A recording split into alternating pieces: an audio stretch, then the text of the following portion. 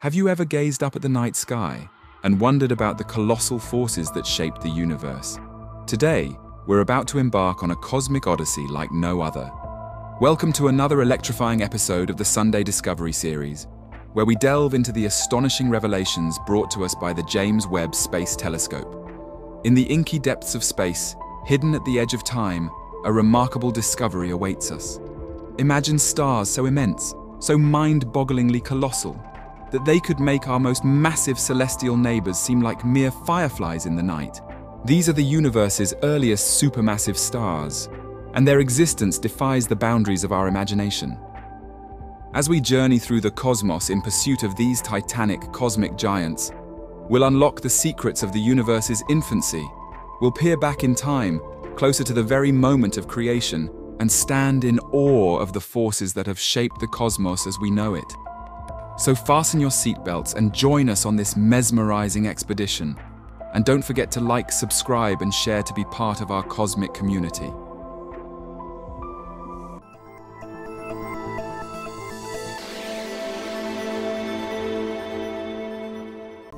The James Webb Space Telescope has uncovered the secrets of Irondale, the most distant star ever discovered in the universe, situated at the farthest reaches of time Irondale is incredibly distant, with its light travelling for 13 billion years to reach us, due to a fortunate alignment in our line of sight.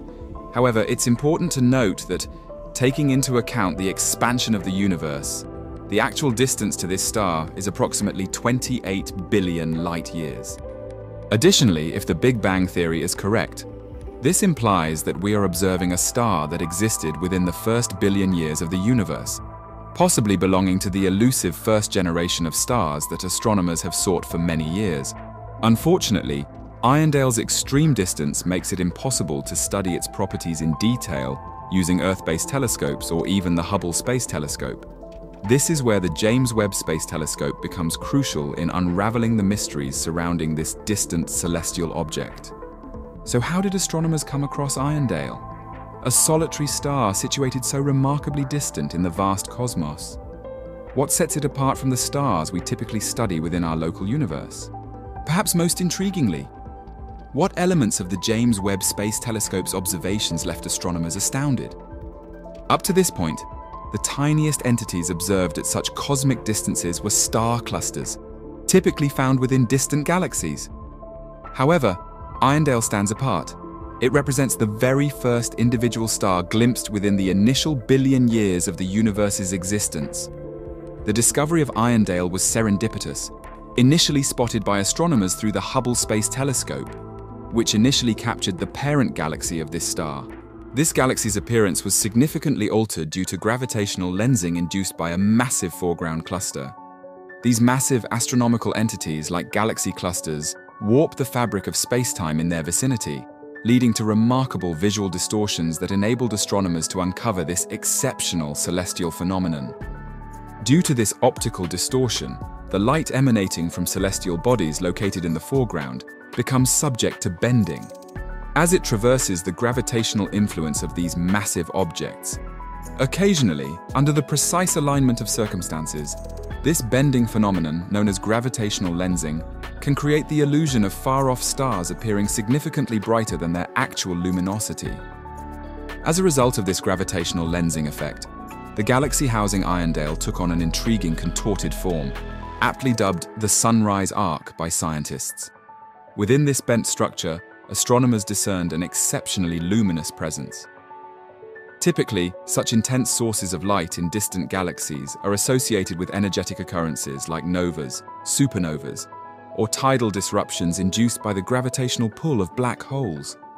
These transient events exhibit fluctuations in brightness over time, making them stand out amidst the cosmic backdrop.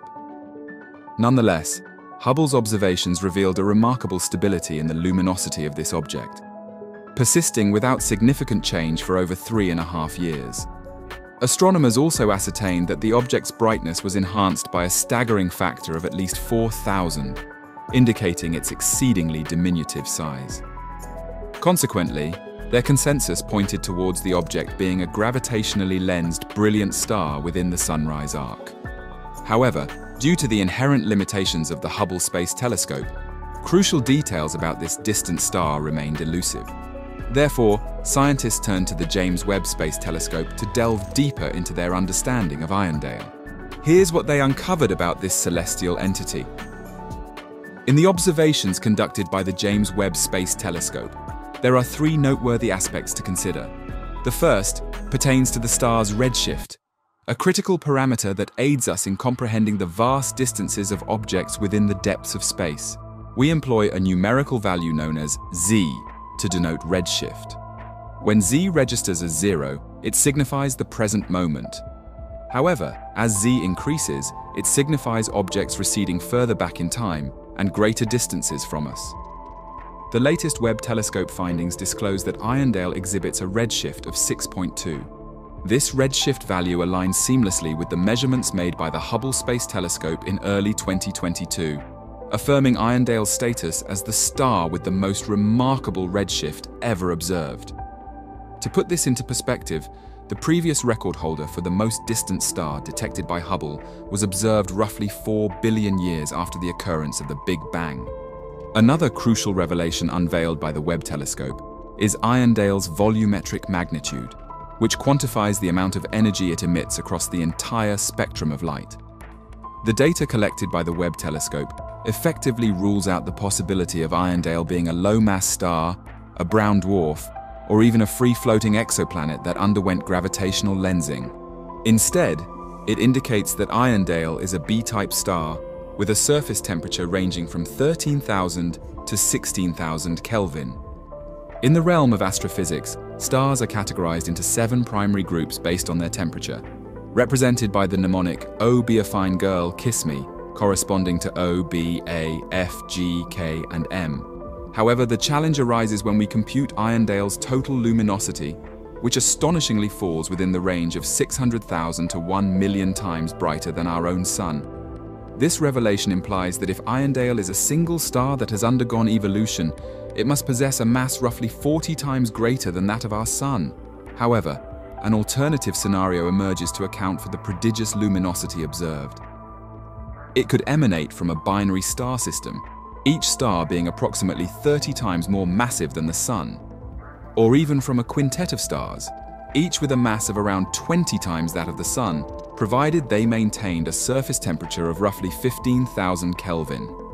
In their research paper, Scientists point out that the single star hypothesis is just one of several plausible explanations capable of elucidating the spectral energy distribution plots. It's worth noting that massive stars in our local universe frequently have companions, often more than one. While primary companions typically orbit within two astronomical units of the star, tertiary companions can be found at distances of up to 20 astronomical units, this signifies that even if Irondale possesses companion stars, the James Webb Telescope lacks the necessary resolution power to discern them. However, in this subsequent round of observations, primarily reliant on the spectral colors of Irondale, a noteworthy discovery emerges. It indeed harbors a cooler, redder companion star. This companion's light has undergone substantial stretching due to the universe's expansion resulting in wavelengths longer than what Hubble's instruments can detect. Thus, it was only detectable with the Webb telescope. The revelation of a companion star serves a dual purpose, shedding light on another astronomical puzzle while affirming the accuracy of our comprehension of stellar astrophysics.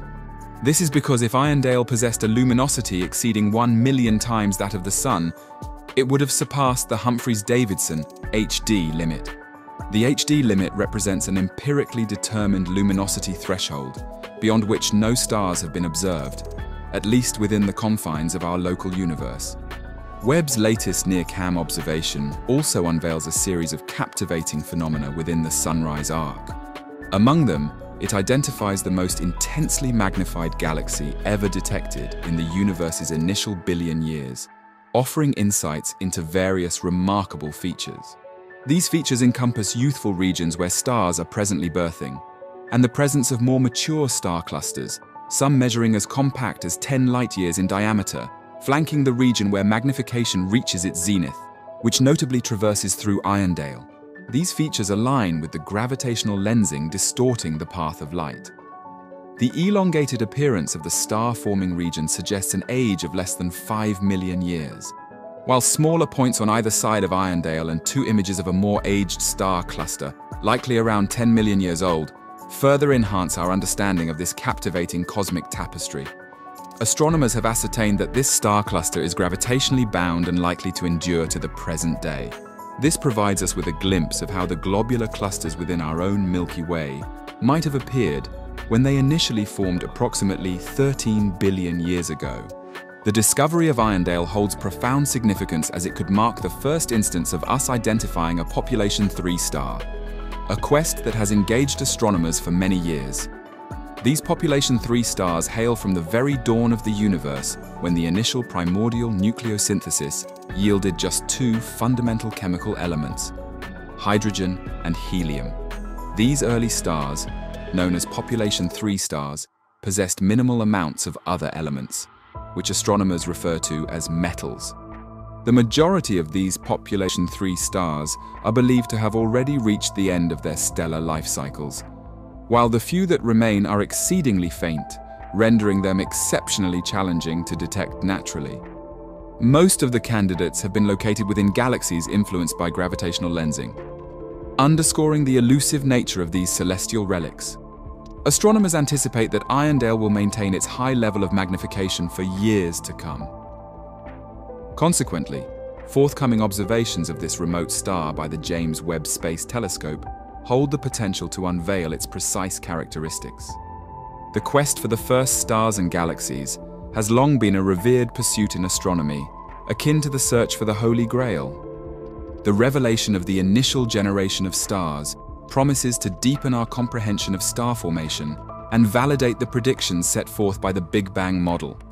Furthermore, it may provide insights into resolving the enigmatic JWST early galaxy problem, which inquires why Webb is detecting such massively developed galaxies in the infancy of the universe. Moreover, the pursuit of these primordial stars serves as an exploration of our origins, echoing the sentiments of the renowned physicist Richard Feynman. He aptly noted that the most astounding revelation in all of astronomy lies in the fact that the stars are composed of the same elemental building blocks as those found on Earth. That wraps up another captivating episode of the Sunday Discovery series. In our recent exploration, the James Webb Space Telescope unveiled tantalizing indications of the earliest supermassive stars at the very brink of time itself. These colossal celestial giants could potentially overshadow the grandeur of the largest stars we've ever observed. If you happen to miss this episode, make sure to catch up and delve into the thrilling revelations of this remarkable discovery. Stay tuned for more awe-inspiring journeys into the cosmos.